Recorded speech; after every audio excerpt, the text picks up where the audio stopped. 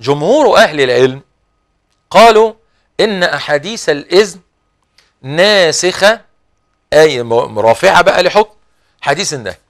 رافعة لحديث النهي مغيرة للنهي وسمح النبي عليه الصلاة والسلام بكتابة الحديث بعد أن نهى عنه عليه الصلاة والسلام. ستقول طيب ما هي دعوة؟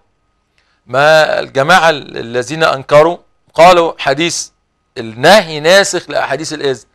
وأنتم تقولون الآن لا ده أحاديث الإذن ناسخة لأحاديث النهي. هم يدعون وأنتم تدعون. ما الفارق؟ لا. مسألة النسخ دي لا تقال هكذا بالتشهي ولا بالهوى وإلا فكل أحد يقول إن هذا من المنسوخ يعني لا يعمل به إنما له ضوابط وله قواعد.